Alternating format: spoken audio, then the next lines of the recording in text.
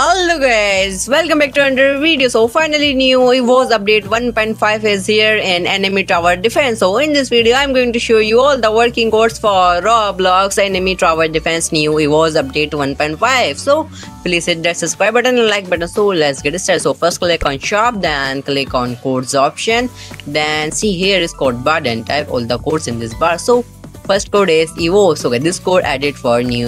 So this code gives you 300 gems so guys let's show the second code of this video. So guys second code is update one let's go. So okay, this code gives you 500 gems so guys let's show the third code of this video. See guys here is third code. So guys third code gives you 200 balls. So guys let's show the fourth code of this video. So guys fourth code is speedy. So guys this code gives you 500 gems let's show the fifth code of this video see guys here is fifth code. So fifth code also gives you 500 gems. So guys let's the sixth code of this video. So guys sixth code is thanks for likes 100 so guys this code gives you 500 gems. So guys let's show the seven code of this video. So seven code is released. So guys this code also gives you 500 gems. So guys currently only these working codes in Anime Tower. If i have developed a new code then i will make a new video for you. So that is for today's video. Thanks for watching. Bye bye guys